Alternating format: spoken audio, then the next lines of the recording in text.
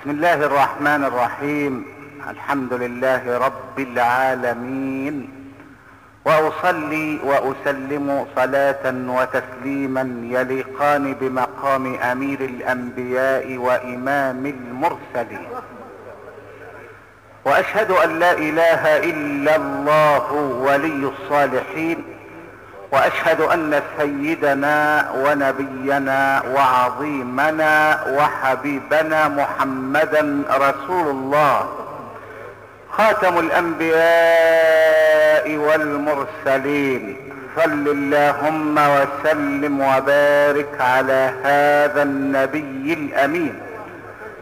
وعلى آله وصحابته الغر الميامين. وارحم اللهم مشايخنا ووالدينا وأمواتنا وأموات المسلمين أجمعين. اللهم إنا نستعينك ونستهديك ونستغفرك ونتوب إليك ونؤمن بك ونتوكل عليك. ونثني عليك الخير كله. نشكرك ولا نكفرك. ونخلع ونترك من يفجرك. اللهم إياك نعبد ولك نصلي ونسجد وإليك نسعى ونحفد نرجو رحمتك ونخشى عذابك. إن عذابك الجد بالكفار ملحق. وصلى الله على سيدنا محمد وعلى آله وصحبه وسلم. أما بعد فإن أصدق الحديث كتاب الله تعالى وخير الهدي هدي سيدنا محمد صلى الله عليه وسلم وشر الأمور محدثاتها وكل محدثة بدعة وكل بدعة ضلالة وكل ضلالة في النار. هنا مدرسة محمد صلى الله عليه وسلم الجالس معنا فيها يجب أن يقدم التحية العاطرة المباركة للحبيب محمد. وتحيتنا إليك يا سيدي يا أبا القاسم. يا رسول الله هي الصلاة والسلام عليك. معشر الإخوة الأعزاء مع الدرس الرابع عشر بعد المئة نلتقي مع فقه العبادات ونسأل سؤالا هو ما المقصود بالخشوع في قوله تعالى قد أفلح المؤمنون الذين هم في صلاتهم خاشعون أنا عايزك توحد من لا يغفل ولا ينام. لا إله إلا الله. لأن ربنا يوم القيامة هيقول للملائكة يا ملائكتي أخرجوا من النار من ذكرني يوما وخافني في مقام. اسأل الله أن يجعلنا من الذاكرين. أي. الخشوع هو استحضار القلب مع سكون الجوارح. يبقى الذين هم في صلاتهم خاشعون. الناس اللي لما بيقفوا بين أيادي الله لا يقفون بالأبدان وإنما يقفون بالقلوب. يعني لما يقول الله أكبر خلاص. ليه الله أكبر في أول الصلاة ما بنقولش الله أعظم الله أعز الله أكرم؟ مش معنى الله أكبر. لأن ربنا عارف الإنسان دايما مشغول بطين الأرض. فبيقول له أنت وقفت قدامي بقى؟ يبقى سيبك من المرتب والفلوس والعيال والزوجة والفدادين والعربيات. ليه لأنني أكبر من هذا كله. ها؟ لأننا أكبر. تبقى تسيب بقى تسيب الاكبر وتمسك في الأصغر. أظن ما يصح. أتستبدلون الذي هو أدنى بالذي هو خير؟ ما يصحش ها؟ لا يليق. طب وبنرفع إيدينا ليه؟ ما كنا نحط الله أكبر وإيدينا جنبنا. قال لك لا ده رفع إيديك ده اهو إشارة على أنك رميت الدنيا وراء ظهرك. يعني لما واحد يقول لك المسألة الفلانية تقول له ارمحها ورا ظهرك ما يهمكش. سيبك. آه يبقى انت بتقول الله اكبر بترفع ايديك يعني يا دنيا. روح في داهية بقى. سيبيني بقى أشوف حال الم... خمس دقايق لله لله. ولذلك ربنا بيقول للدنيا إيه؟ يا دنيا من خدمنا فاخدميه ومن خدمك فاستخدميه. ولذلك هي استخدمت ناس كتير. كل واحد غافل عن الله يبقى الدنيا استخدمته. تعرف أول الإنسان المؤمن ما بينحط في قبره بيحصل له إيه؟ واول الفاجر ما بينحط في قبره بيحصل له إيه؟ الصلاة ده إيه؟ الصلاة ده إيه؟ ده اثرها مش ممتد في الدنيا بس ده اثرها ممتد في وحدة القبر في الوحشة. بتبقى مربطة جنب راسك تمام. شوف الحراسة وبتبقى ماسكة إيه؟ برنج وكينج وشنج جنب راسك. ماسكة رفع السلاح كده. رفع السلاح. ها؟ أول المؤمن ما بيحط في القبر شوف النبي بيقول إيه؟ بعد ما توحد الله تقول لا إله إلا الله. ما هو النبي خرج ذات يوم على أصحابه فوجدهم يضحكون. قال لهم لم تضحكون؟ والله لو علمتم ما أعلم لبكيتم كثيرا ولا ضحكتم قليلا. ولا خرجتم إلى الصعودات تجأرون وما استمتعتم بالنساء على الفرش ليه يا نبي. قال لقد كان معي آنفا أخي جبريل. جبريل لسه سايبني دلوقتي. قبل ما أطلع عليكم كان في اجتماع بيني وبين مين؟ وبين جبريل. ها؟ شوف أهو دي الاجتماعات اللي تشرف واخد بالك من كلامي؟ دي الاجتماعات دي الاجتماعات اللي تشرف كان مجتمع مع مين؟ مع جبريل. إذا في خبر نازل من السماء. خير يا رسول الله. خير يا حبيب الله. ما تصلوا عليها رجالة. قال له يا محمد أخبر أمتك بأن القبر يقول لهم اذكروني كل يوم. ما تنسونيش. أنا بيت الوحدة. ده القبر بيقول أنا بيت الوحشة أنا بيت الغربة أنا بيت الدود أنا بيت التراب أنا بيت الضيق إلا من وسعني الله عليه. ففضل إيه تاني؟ قال لا اسمع يا سيدي. أول المؤمن ما بيدفن بيدفن رأسه إلى القبلة وينام على شقه الأيمن وخده على التراب وأول الدود ما بيجي ياكل. آه ياكل مين؟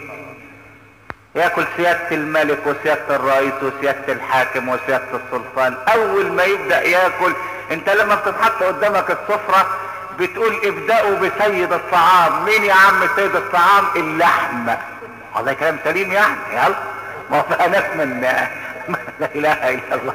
فيها ناس عندها عادة سيئة في الأكل. يقدم لك الويكة الأول. الويكة عبارة عن بامية مهروسة هرس يعني كاسعات ألغام اللي هرساها يقول لك كل ويجيب لك البتاو.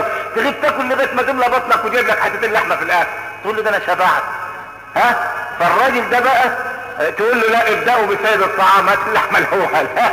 شوف الدود أول ما يبدأ ياكل يبدأ بإيه؟ بالعين اليمين.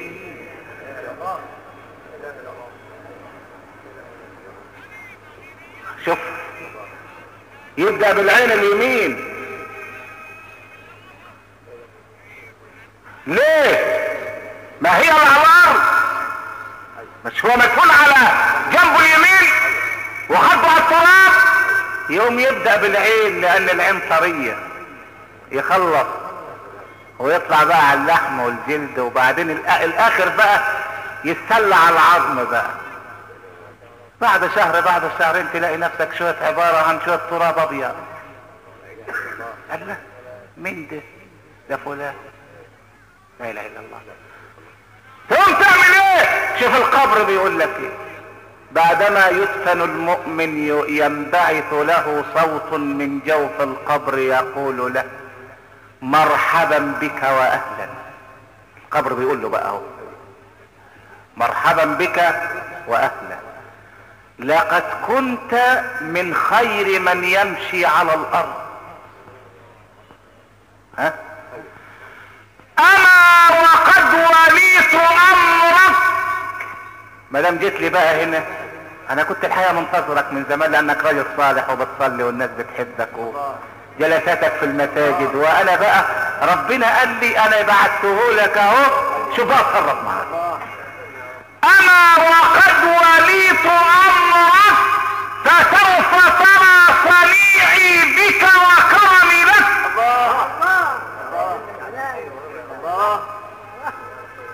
شوف بقى لما واحد يبقى رايح ضيف عند واحد والواحد ده بيحبه. ساعات يقدم له الشاي الأول وبعدين يقدم له الحاجة المتلجة بعدين يقول له مش كنت يا أخي تقدم الساخن بعد المتلج؟ يقول له والله أنا فرحتي بيك منسيه أنا مش عارف أقدم لك إيه. أنا محتار أقدم لك إيه. ها؟ والموز والبرتقال والك... عايز يجيب له الدنيا كلها. فرحان. فالقبر فرحان بالعبد المؤمن لأنه نزل ضيف عليه. قال له ده أنا كنت من زمان عايز اشوفك ده أنا بحب الناس الطيبين. ها؟ فلتعلمن صنيعي بك وكرمي لك. نعم. ها؟ وبينما المؤمن كذلك إذ يدخل عليه مخلوق جميل الخلقة كأن الشمس تجري في وجهه. فيقول له لا تدري من أنا يا عبد الله أنا عملك الصالح.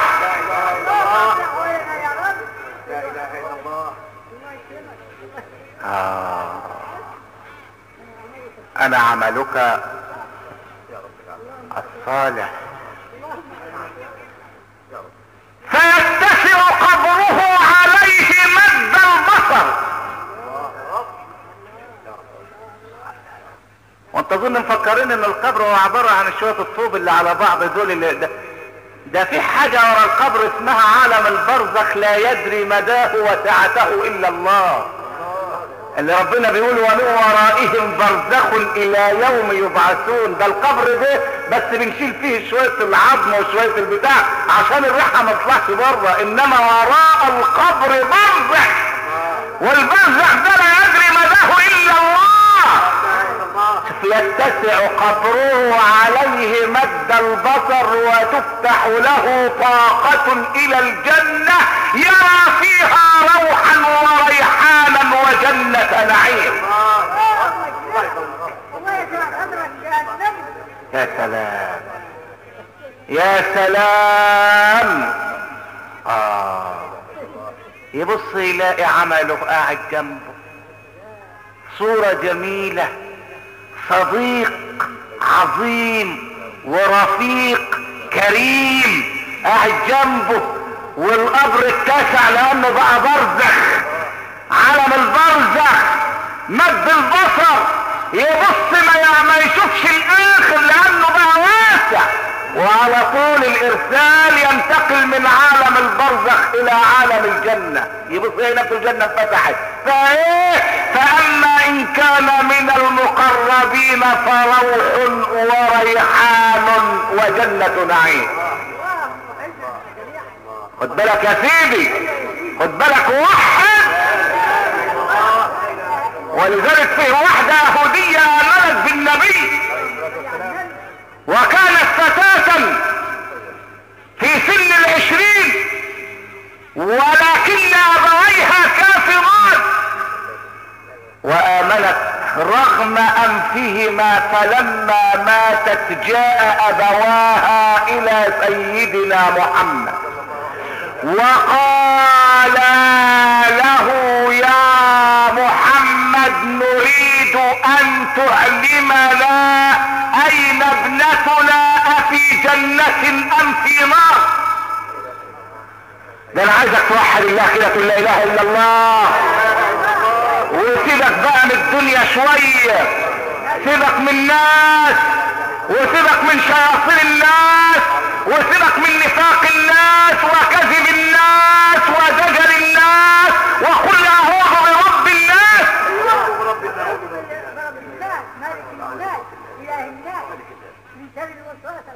قال له عايزين نعرف البنت دي فين ده هي سابت دين اليهودية وجت معاك انت فبس عايزين نطمئن.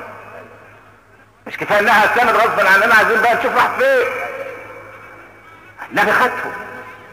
ونادى عليها يا فلانة فردت عليه من داخل القبر لبيك يا رسول الله.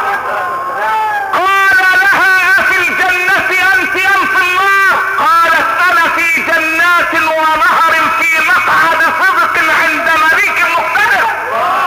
فقال لها اجيبي يا باكي قالت والله لا اجيبه قال لها ولماذا؟ قالت لأنني رأيت ربي خيرا من أبي. خلاص. دي راحت هناك تجاوب ابوها مين أبوها مين ابوها بالنسبة لها بقى أبو جلامبو دلوقتي. يهودي ما يسويش حاجة. ها؟ أبوها مين وبتاع مين؟ إن أصحاب الجنة اليوم في شغل. فاكهون. في شغل. هم فاضيين. دول مش فاضيين ده وراهم زيارات وراهم ملايكة ووراهم زيارات في سوق الجنة وزيارات للرحمن جل جلاله. للرحمن جل جلاله اللي يحب النبي سمعني الصلاة عليه. لقد رأيت ربي خيرا من أبي. ما هو اللي بيروح هناك لا يمكن يرجع الدنيا تاني. وأهل الخير لا يمكن يفكروا في الدنيا تاني. زي إيه؟ قال سعة الآخرة بعد الموت كسعة الدنيا بالنسبة للجنين إذا خرج من بطن أمه. يعني أول الواد ما بيتولد بتبص تلاقيه يصرخ شوية قال أنت بتصرخ ليه؟ لأنه جاي لدار الدنيا. طيب بقول لك إيه؟ أنت زعلان؟ طب ترجع بطن أمك تاني يقول اعملوا معروف؟ ارجع فين؟ ما صدقت إن أنا شميت الهوا. ده أنا كنت قاعد جوه مقرفص برضه المؤمن لما يموت ترجع الدنيا تاني يقول يا دنيا؟ ده أنا هنا في جنات ونهر في ساعة. وراحة. وجنة نعيم.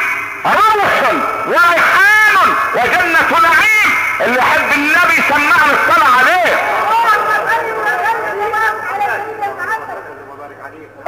الروح هو الراحة والريحان هو ذو الرائحة الطيبة. فتح عليه الطاقة من الجنة تبص تلاقي وجد ما في الجنة من روح وراحة ونعيم. يوم يقوله المؤمن يقول يا ربي أقم الساعة الآن حتى أنقلب إلى أهلي مسرورا. يا رب قوم القيامة ده أنا حاجة عظيمة عشان أروح أبشر أهلي. أقول لهم شوف أنا فين؟ أقم الساعة. أقم الساعة.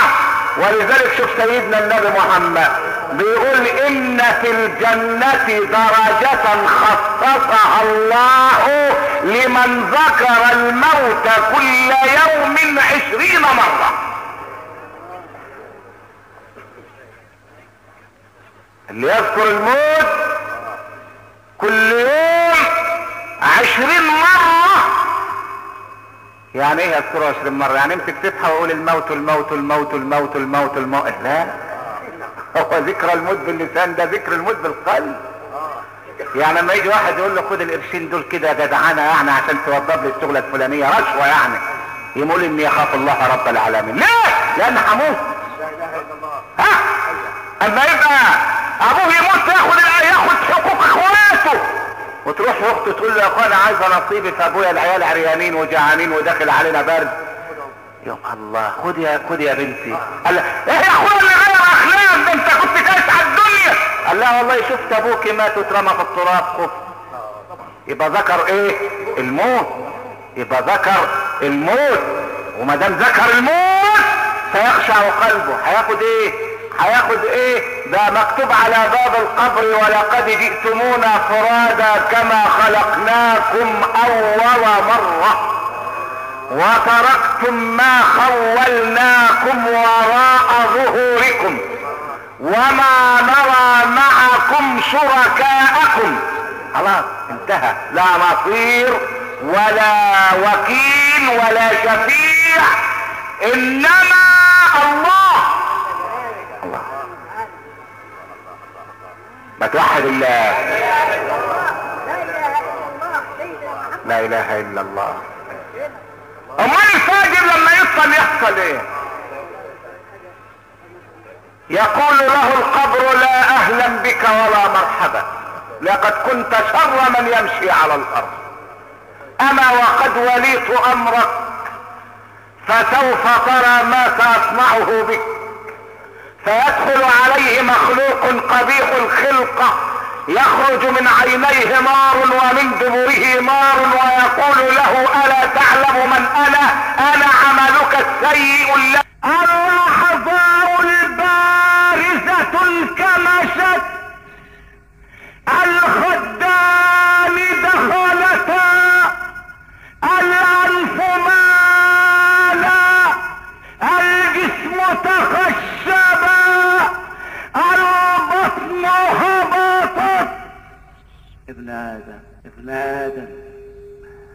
أكنت ترضى أكنت ترضى وأنت على قيد الحياة بأن يخلع ثيابك أحد. أنت الذي كنت تخلع ثياب نفسك. إذا ان تغتسل في الدنيا كنت تخلع ثياب نفسك. ولكنك على خشبة الغسل لا تقوى على ذلك. يجلسك المغسل ليخلع ثيابك ثوبا ثوبا ويلقيك على خشبة الغسل عريانا نفس توبي. يا نفس توبي. يا نفس توبي. فإن الموت قد حان واعص الهوى فالهوى ما زال فتانا. يا نفس توبي. يا نفس توبي توبي فإن قد حان واعص الهوى فالهوى ما زال فتانا. في كل يوم لنا ميت نشيعه نحيي بمصرعه آثار موتانا. يا نفس مالي مالي وللأموال أجمعها خلفي وأخرج من اذكر هذه الساعة اذكر هذه الساعة اذكر هذه الساعة. والمغسل قد أقعدك على خشبة الغسل لا حول لك ولا قوة. أين أولادك؟ وأين أطفالك؟ أين بناتك؟ أين بناتك؟ أين أطفالك؟ أين اليتامى؟ أين اليتامى؟ أبوهم قد أغلقت عليه غرفة الأسر. أين بناتك؟ أين بناتك؟ أين أطفالك؟ أين اليتامى؟ أين اليتامى؟ أبوهم قد أغلقت عليه غرفة الأسر. فلولا إذا بلغت الحلقوم وأنتم حينئذ تنظرون ونحن أقرب اليه منكم ولكن لا تبصرون فلولا إن كنتم غير مدينين ترجعونها إن كنتم صادقين إلى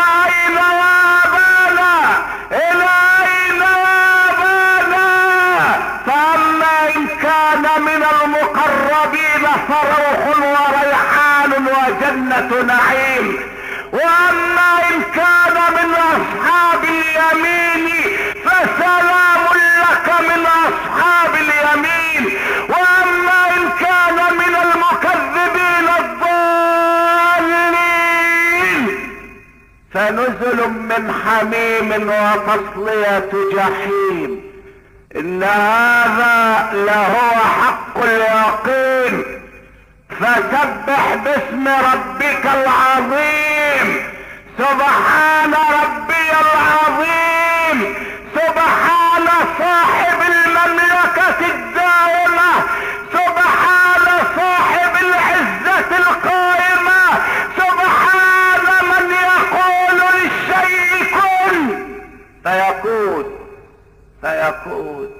تجردت من كل شيء في الدنيا حتى ثيابك. حتى ثيابك تركتها بجانب خشبة الغسل حتى ثيابك وجاءوا لك بثوب جديد يسمى الكفن. لا ثياب بعده.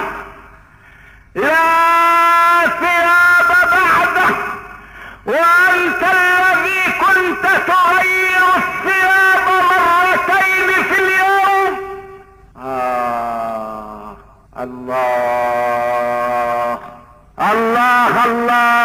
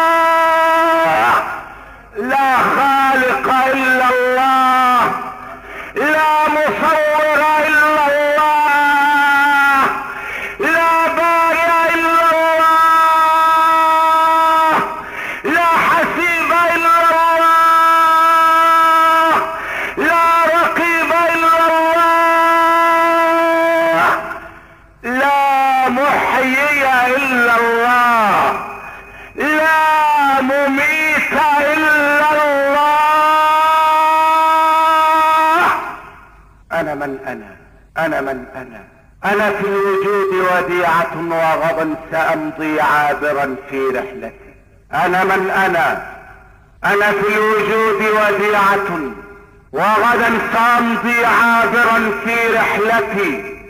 أنا ما مددت يدي لغيرك سائلا. أنا ما مددت يدي لغيرك سائلا. أنا ما مددت يدي لغيرك سائلا. فاغفر بفضلك يا مهيمن زلتي ابن آدم. أنت الذي ولدتك أمك باكيا والناس حولك يضحكون سرورا. ابن آدم أنت الذي ولدتك أمك باكيا والناس حولك يضحكون سرورا. فاعمد إلى عمل تكون اذا بكوا في يوم موتك ضاحكا مسرورا اعمد إلى عمل.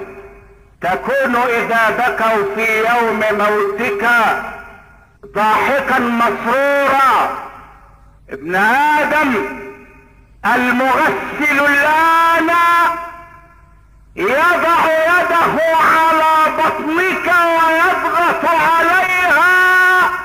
وأنت لا تقوى على ان تقول آه ما لكم نسيتم هذه الساعة؟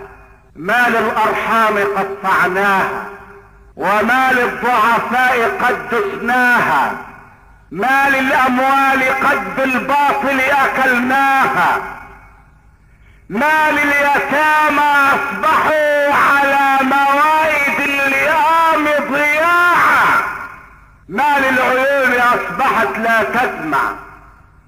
ما للآذان أصبحت لا تسمع. ما للقلوب أصبحت لا تخشع. ما للأبدان أصبحت لا تسجد ولا تركع. ما للمنازل أصبحت لا أهلها أهلي ولا جيرانها جيراني.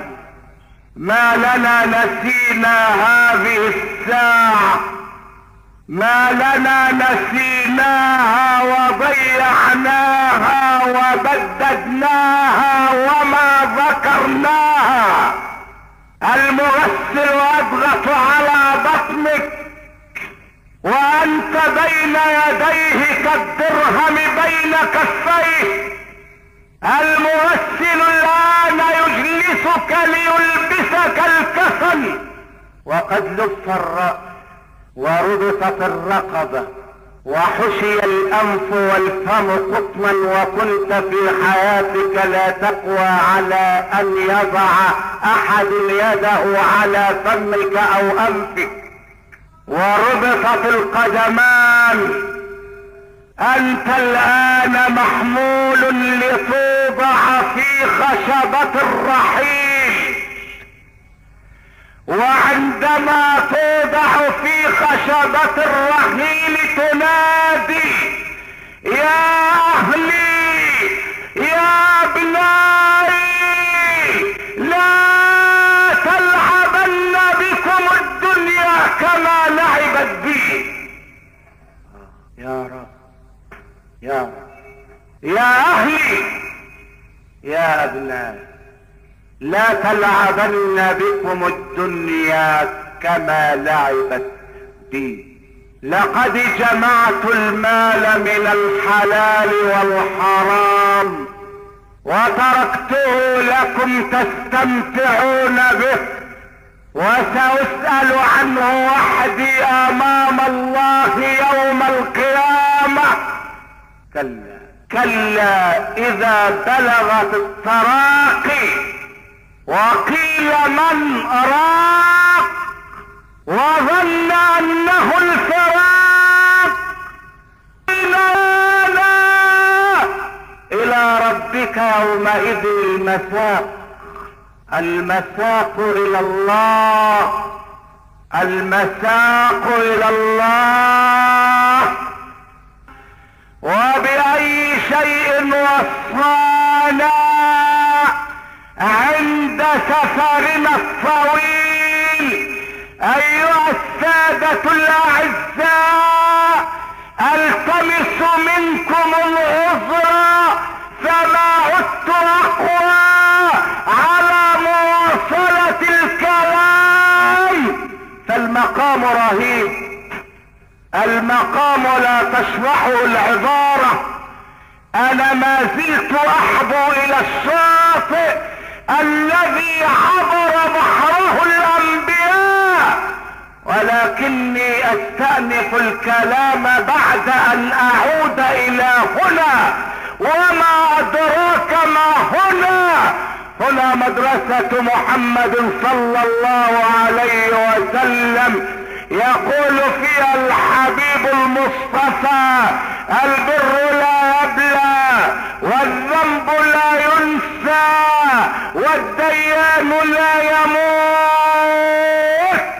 اعمل ما شئت كما تدين تدان ويقول أيضا كل ابن آدم خطاء وخير الخطائين التوابون. الحمد لله رب العالمين. وأشهد أن لا إله إلا الله ولي الصالحين. وأشهد أن سيدنا ونبينا وعظيمنا وحبيبنا محمدا رسول الله خاتم الأنبياء والمرسلين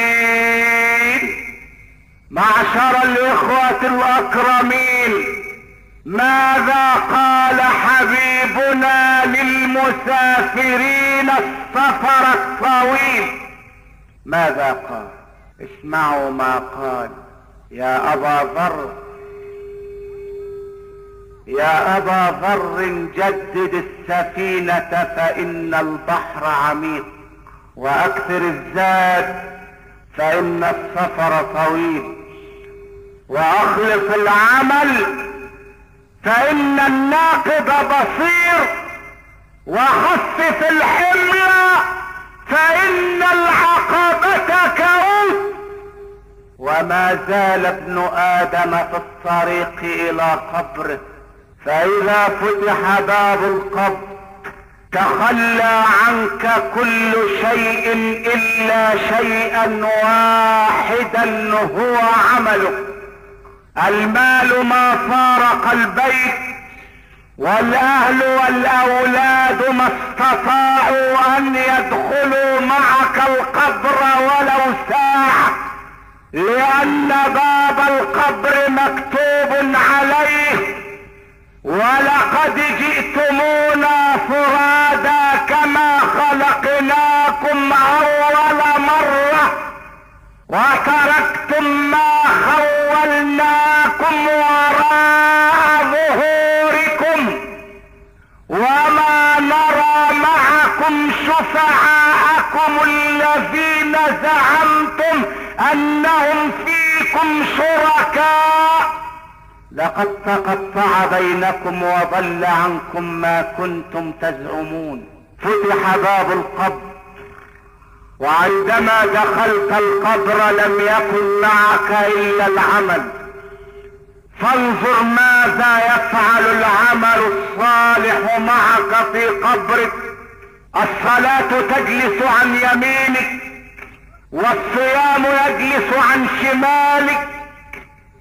وقراءة القرآن وذكر الله على جانب رأسك. والمشي إلى المساجد واتباع الجنائز والصدقات عند قدميك ويدخل عليك الصبر فلا يجد له مكانا فيجلس الصبر في جانب من جوانب القبر. أرأيت كيف ينفع العمل الصالح؟ لا جليس ولا أليس ولا صديق ولا رفيق. الصلاة على اليمين.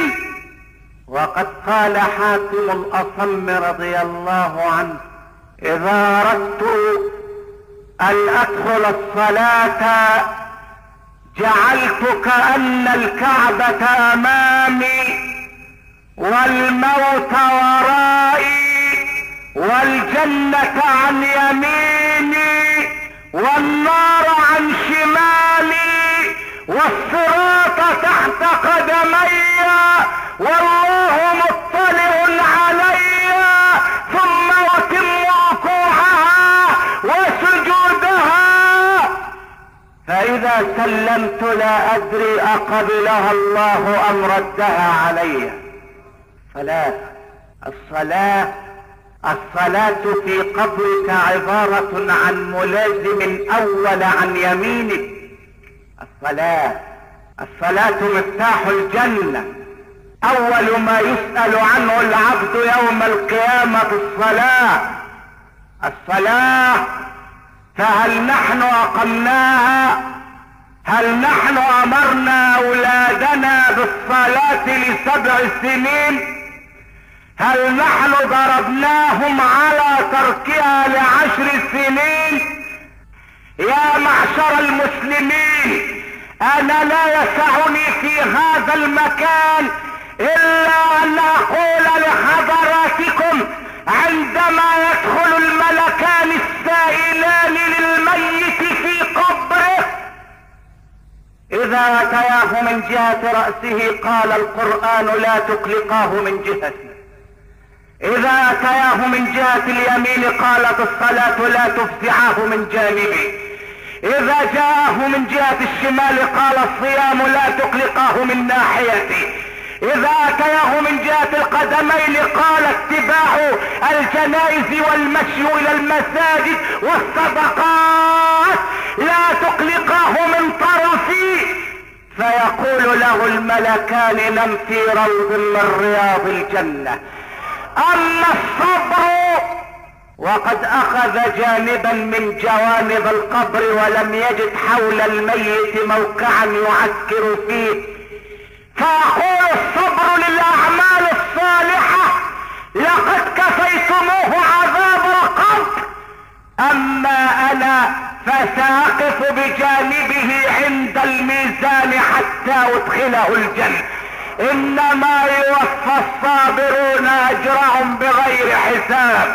اللهم ارزقنا الصبر على البلاء وارزقنا الرضا بالقضاء وارزقنا الشكر عند الرخاء. اغفر ذنوبنا واستر عيوبنا وتولى أمرنا واشف امراضنا